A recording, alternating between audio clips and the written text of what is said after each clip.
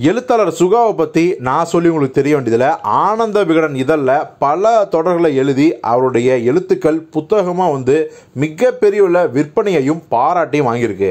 ஆனால் இவர் எழுத்தாளர் சுகா அப்படின்னு தான் நமக்கு தெரியும். ஆனால் இவர் வந்து பாலு மகேந்திராவோட உதவி இயக்குனர் அப்படிங்கிறத விஷயம் நிறைய பேருக்கு தெரியாது.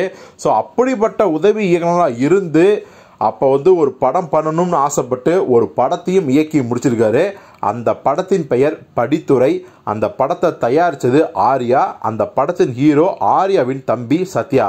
ஸோ இந்த படம் சில காரணங்களால் ரிலீஸே ஆகாமல் இருக்குது இந்த படத்தோட ஷூட்டிங் ஒட்டு மொத்தமாக ரிலீஸ் ரெடி ஒட்டு மொத்தமாக எல்லாமே ரெடியாக இருக்குது காப்பியே ரிலீஸுக்கு ரெடியாக இருக்குது ஆனாலும் கூட என்ன மாயமோ மர்மமோ தெரில அந்த படத்தை ரிலீஸ் பண்ணாமே இருக்காங்க.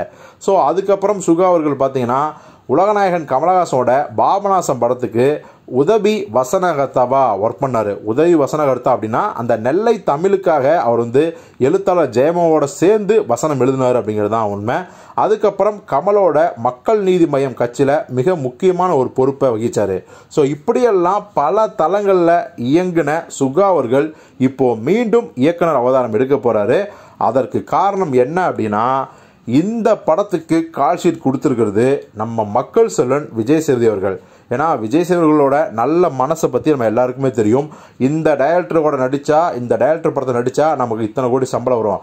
இந்த படம் ஜெயிச்சதுன்னா அந்த டைரக்டர் படத்தை கமிட் ஆகி அங்கே பல கோடிகள் நம்ம சம்பளம் வாங்கலாம். இப்படியெல்லாம் மற்ற ஹீரோக்கள் மாதிரி கணக்கு போட்டு வேலை செய்கிறது கிடையாது. அவருடைய கணக்கு எப்பவுமே மனித கணக்கு தான் மனித நேய கணக்கு தான்.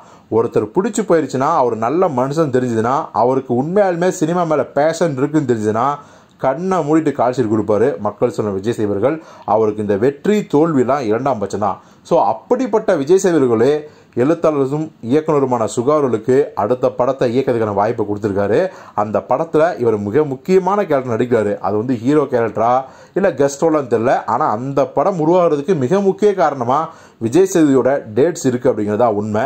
எது எப்படியோ விஜய் சேதுவோட நல்ல மனசுக்கு எழுத்தாளரும் இயக்குனருமான சுகாவோட இந்த படம் ரிலீஸ் ஆகி ஒரு மிகப்பெரிய வெற்றி படமாகி அவர் வந்து ஒரு வெற்றிகரமான இயக்குனராக தமிழ் சினிமாவில் ஜொலிக்கணும் அப்படிங்கிறது தான் அவருடைய வாசகனாக நம்மளுடைய ஆசையும் கூட.